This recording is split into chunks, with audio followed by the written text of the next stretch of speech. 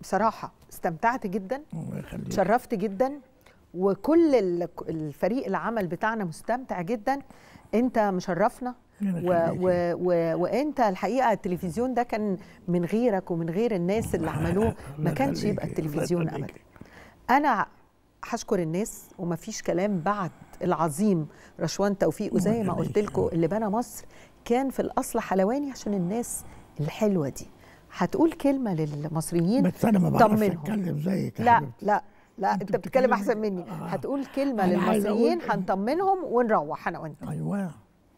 بلدنا بإذن الله تحفظها الملائكة. وبإذن الله ربنا يوفق الرئيس السيسي لأنه أعطاه الله أعطاه الله الحكمة. ونحن كل الأعداء تنظر إلى هذه الأرض المباركة فربنا حفظنا بحفظه.